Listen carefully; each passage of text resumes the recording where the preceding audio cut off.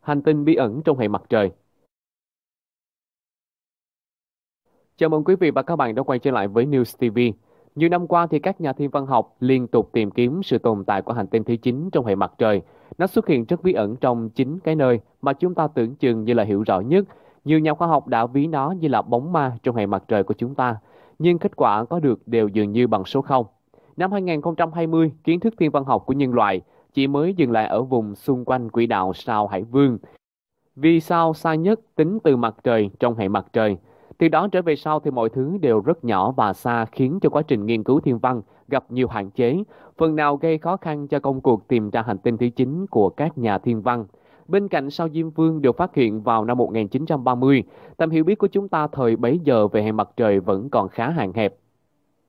Mãi đến năm 1992, khi các phi hành gia lần đầu tiên tìm ra vật thể vành đai Kuiper, một tàn dư bị đóng băng từ sự hình thành hệ mặt trời đang xoay quanh hệ mặt trời, như là một hố đen ngoài sao Hải Vương, con người mới dần phát hiện nhiều vật thể ngoài không gian và bắt đầu nghiên cứu về chúng.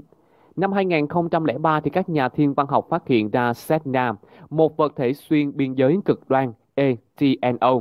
Tuy chỉ lớn gần một nửa sao Diêm Vương, Sedna có quỹ đạo lập dị với dao động từ 76 AU đến hơn 900 AU, đơn vị thiên văn, được tính bằng khoảng cách từ mặt trời đến trái đất trong suốt 11.000 năm, gấp đôi so với chiều dài lịch sử loài người. Gần đây thì các nhóm nghiên cứu thiên văn đã bắt đầu quan tâm đến ETNO. Trong quá khứ, vì không thể giải mã quỹ đạo của sao thiên vương, nhà thiên văn học đã tình cờ tìm ra sao hải vương. Tương tự, mối liên hệ giữa quỹ đạo của Sedna và các NTO kỳ lạ có thể cho ra kết quả tương tự về sự tồn tại của hành tinh thứ 9. Tuy nhiên, khi hành tinh thứ 9 bắt đầu được quan tâm rộng rãi trở thành một đề tài khoa học, chưa hề có hình ảnh hay là dữ liệu nào ghi được sự có mặt của nó. Dù vậy thì không ngoại trừ khả năng hành tinh thứ 9 có tồn tại ngoài kia, nhưng vì ở rất xa trái đất nên chúng ta khó có thể phát hiện được. Mặt khác thì một số nhà thiên văn học cho rằng các ENTO chẳng có gì đặc biệt. Chúng tùy thuộc vào cách các nhà khoa học thiết kế và tiến hành tìm ra. Họ có thể dễ dàng phát hiện ra nhiều ETNO vì chúng không bị che bởi những vật thể bí ẩn khác trong không gian. Do chưa thể nghiên cứu chi tiết, các nhà khoa học không thể giải thích chúng rõ ràng. Có thể không phải là hành tinh mà là một hố đen thu nhỏ. Mới đây nhất thì một nhóm các nhà thiên văn học thuộc Đại học Illinois, thành phố Chicago, Hoa Kỳ đã đưa ra một giả thuyết chấn động hơn rất nhiều. Thiên thể kỳ lạ mà chúng ta quan sát thấy có thể không phải là một hành tinh. Thay vào đó, đây thực chất lại là một hố đen thu nhỏ, được các nhà thiên văn học ở Đại học Illinois gọi là một khả năng thú vị. Giả thuyết này cho rằng chính sự hiện diện của một hố đen nguyên thủy nằm ở rìa Thái Dương hệ đã gây ra hiện tượng một số thiên thể ở vành đai Kuiper có quỹ đạo di chuyển bất thường. Theo định nghĩa của các nhà khoa học thì hố đen nguyên thủy là loại hố đen được hình thành vào thời kỳ sơ khai nhất của vũ trụ, không lâu sau khi vụ nổ Big Bang xảy ra, khi vũ trụ sơ khai còn rất đậm đặc. Các loại vật chất, các hố đen nguyên thủy không thể hình thành từ sự sụp đổ xuống của các ngôi sao, Thay vào đó thì những hố đen này xuất hiện với kích thước nhỏ hơn rất nhiều so với hố đen chúng ta đang nghiên cứu hiện tại. Cụ thể là một hố đen nguyên thủy nặng gấp 5 lần trái đất có thể đặt vừa lòng bàn tay của chúng ta, trong khi một hố đen nặng gấp 10 lần trái đất có kích cỡ chỉ bằng một quả bóng bowling. Và điều này cũng đồng nghĩa những hố đen nguyên thủy có kích thước siêu nhỏ, có thể đang âm thầm tồn tại trong hệ mặt trời, nhưng chưa được con người phát hiện. Nhằm chứng minh giả thuyết trên là đúng, thì các nhà thiên văn học đương nhiên phải tìm kiếm các bằng chứng cho thấy một hố đen nguyên thủy thực sự đang tồn tại trong hệ mặt trời. Tuy nhiên thì do bản chất của hố đen là hấp thụ mọi loại vật chất, bao gồm cả ánh sáng khi chúng vượt qua chân trời sự kiện, việc tìm kiếm hố đen bằng các loại kính viễn vọng theo cách thông thường là cực kỳ khó khăn với giới hạn thiên văn học. Thay vào đó thì các nhóm nghiên cứu tại Đại học Illinois đã đề xuất việc tìm kiếm các vật chất tối tồn tại ở quần hào quang xung quanh hố đen. Cụ thể là một lỗ đen có khối lượng bằng một hành tinh sẽ có một quần sáng chứa vật chất tối xung quanh nó, vốn có thể kéo dài tới 1 tỷ km từ trung tâm của lỗ đen.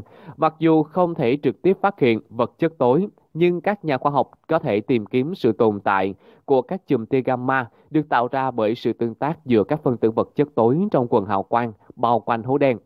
Chính những chùm tia gamma này sẽ là manh mối để tìm kiếm sự hiện diện của hố đen. Hiện tại thì các nhà thiên văn học thuộc Đại học Illinois đang đặt ra mục tiêu tìm kiếm các bằng chứng để chứng minh cho giả thuyết của họ bằng cách nghiên cứu các dữ liệu thu được từ kính thiên văn tia gamma Fermi. Những bằng chứng để chứng minh hành tinh thứ 9 thật sự tồn tại. Sự tồn tại của hành tinh thứ 9 được đề xuất chính thức lần đầu tiên vào năm 2014 bởi nhà thiên văn học Scott Shepard và Chadwick Joslo thuộc Viện Khoa học Carnegie ở Washington, D.C. và Đài quan sát Gemini tại Hawaii. Hai nhà thiên văn học Shepard và Josilo lưu ý rằng hành tinh lùn Sedna, vật thể VP113 mới được phát hiện năm 2012 và một số hành tinh khác nằm ngoài sao Diêm Vương cũng mang một số đặc tính quỹ đạo kỳ lạ. Sẽ có một sự xác nhập hợp lý nếu đường đi của các hành tinh trong không gian được xác định bởi một hành tinh khổng lồ chưa xác định trong khu vực. Các nhà nghiên cứu cho rằng hành tinh giả này có trọng lượng lớn hơn trái đất từ 2 tới 15 lần và nằm cách mặt trời hàng trăm đơn vị thiên văn. AU AU là khoảng cách mặt trời trái đất bằng 150 triệu km hoặc là 93 triệu dặm. Hiện nay thì một nhóm các nhà nghiên cứu tin rằng họ đã tập hợp được tất cả những dữ liệu cần thiết trong hành trình giải mã, hành tinh thứ 9 lạ lùng trên. Hành tinh thứ 9 là tên gọi của một vật thể khổng lồ giải thích cho quỹ đạo bất thường của một nhóm các thiên thể bên ngoài sao Hải Vương, mà các quỹ đạo của chúng chủ yếu nằm ngoài vành đai Kuiper. Hành tinh với khối lượng gấp 5 lần trái đất này đang được cho là nằm đâu đó trong khu vực trên. Chúng ta không biết chính xác nó là gì. Chúng ta không biết chính xác nó ở đâu và chúng ta thậm chí là không biết cả làm thế nào để tìm ra nó. Theo nhóm các tác giả trong nghiên cứu này, gồm các nhà khoa học Matthew Holman, Matthew Bainey và Azrat Pierre, vệ tinh khảo sát ngoài hành tinh bằng phương pháp quá cảnh TESS của NASA có thể đã phát hiện ra hành tinh ma quái và chúng ta chỉ là chưa có thời gian để nghiên cứu những bức ảnh trong khố TESS săn tìm các ngoại hành tinh bằng cách sử dụng phương pháp quá cảnh. Các nhà thiên văn học và các siêu máy tính sẽ lọc những hình ảnh mà Ted quét được trên bầu trời để tìm kiếm hiện tượng quá cảnh. Sự mờ đi của ánh sáng từ một ngôi sao gây ra do một hành tinh đi qua phía trước nó. Tuy nhiên thì một bức ảnh đơn lẻ không thể ghi lại được thứ gì đó ở xa và mờ như hành tinh thứ 9 trên, cần đến sự can thiệp của một công nghệ khác mang tên theo dõi số. Digital Tracking, phương pháp theo dõi số sẽ chồng nhiều hình ảnh khác nhau từ cùng một phạm vi quan sát để tăng độ sáng của những vật thể ở xa. Cho tới nay thì công nghệ này đã phát hiện ra nhiều thiên thạch mới, song vẫn chưa được sử dụng để săn tìm hành tinh thứ 9 hay bất kỳ vật thể khổng lồ bí ẩn nào ngoài sao Hải Vương. Có phải là thuyết âm mưu? 1885 thì nghiên cứu ghi chép cổ sinh vật học củng cố giả thuyết những cơn mưa sao băng diễn ra đều đặn cách đây 250 triệu năm. Nghiên cứu gần đây hơn tìm thấy bằng chứng chỉ ra sự kiện này có niên đại lâu hơn, từ 500 triệu năm trước. Trước đây thì vào những năm 1980 và 1990, một số người cho rằng một hành tinh lùn tên là Nibiru hoặc là Nesmesis đến quá gần với trái đất mỗi 36.000 năm là thứ phạm gây ra sự tuyệt chủng của khủng long. Tuy nhiên thì nhiều người cho rằng sự tồn tại của Nibiru và Nesmesis chỉ là điều nhảm nhí cho đến khi Viện Công nghệ California phát hiện ra sự tồn tại của hành tinh thứ 9. Tại thời điểm đó thì ba lý giải được đưa ra để giải thích về mưa sao băng. Một hành tinh là hành tinh X, hai là sự tồn tại của ngôi sao giống mặt trời và ba là dao động theo chiều dọc của mặt trời khi nó xoay quanh dải thiên hà. Hai giả thuyết sau bị loại trừ do không phù hợp với ghi chép cổ sinh vật học. Hành tinh X là giả thuyết hợp lý nhất và đang gây chú ý.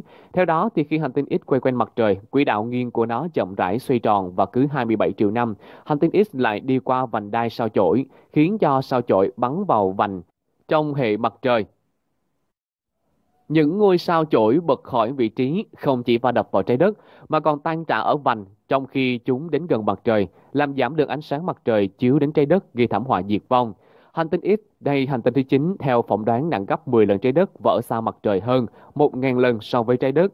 Với quỹ đạo giả thuyết của hành tinh thứ 9 lên đến 20.000 năm để hoàn thành một vòng quanh mặt trời và khoảng cách quá xa so với mặt trời, dường như nó sẽ không gây nguy hiểm cho con người. Tuy vậy thì những cá nhân theo thuyết âm mưu nhanh chóng đưa ra giả thuyết rằng đây đơn giản chỉ là hành tinh đầu tiên trong một vài thiên thể có khả năng diệt chủng và sớm hay muộn thì một trong số hành tinh kiểu đó sẽ khiến cho trái đất vỡ vụn. Hành tinh ít nếu tồn tại chắc chắn sẽ là một thiên thể có phát hiện. Giới khoa học nhận biết được những tác động lên chính thiên thể trong vành đai Kuiper và coi đây là cơ sở chứng minh sự tồn tại của nó. Mặc dù điều này chưa được thừa nhận rộng rãi trong giới thiên văn học, tuy nhiên thì bằng chứng nêu trên chắc chắn đủ thuyết phục một cuộc tìm kiếm chi tiết trên quy mô rộng. Nhờ có hệ thống mô hình hóa bằng máy điện toán, phạm vi tìm kiếm đã được thu hẹp, đồng thời thì công nghệ đang phát triển và những quan sát trong khu vực vành đai Kuiper dần được cải thiện. Nếu hành tinh thứ 9 quả thực tồn tại thì nó sẽ được tìm ra trong một vài năm nữa. Trên đây là hành tinh ma bí ẩn trong hệ mặt trời. Video của chúng tôi đến đây là hết rồi. Cảm ơn quý vị và các bạn đã quan tâm theo dõi. Đừng quên để lại ý kiến của mình về clip này nhé. Nếu thấy hay hãy subscribe, like và share, ủng hộ News TV có thêm động lực ra thêm nhiều clip hay phục vụ quý vị. Giờ thì xin chào hẹn gặp lại ở các clip tiếp theo.